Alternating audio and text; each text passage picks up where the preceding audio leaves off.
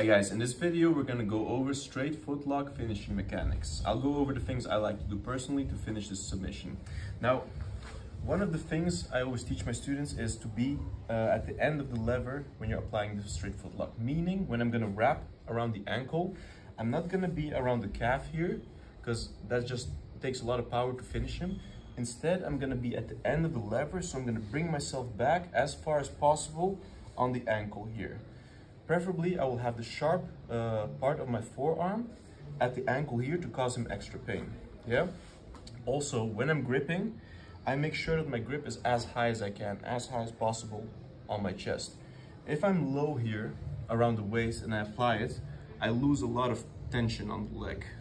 But as opposed to being high here, when I apply it, I have a lot more pressure on the ankle. He'll tap a lot quicker.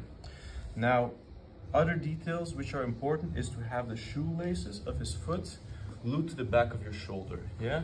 So I don't want to have space between his shoelaces and my shoulder. I want to be nice and tight and I want to have his foot bending already like so as I apply the ankle lock.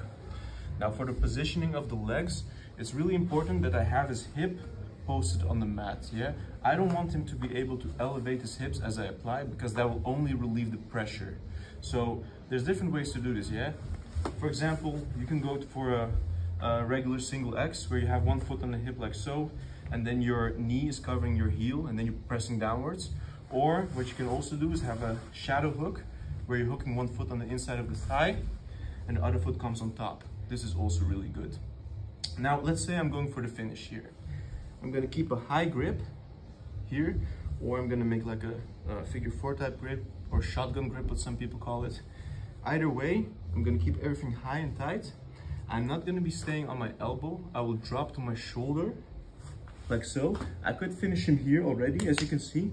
But if you're having trouble finishing on your shoulder, try turning your chest to the mat, kind of going belly down, yeah? So I'm here, and if I can't tap him here, which most cases you will be able to, I try to turn even more and then if I turn even more, I can eventually go belly down, finish from that position. It will be a lot stronger. Now, those are some uh, key details to finishing straight ankle lock. I hope you can use them. Good luck.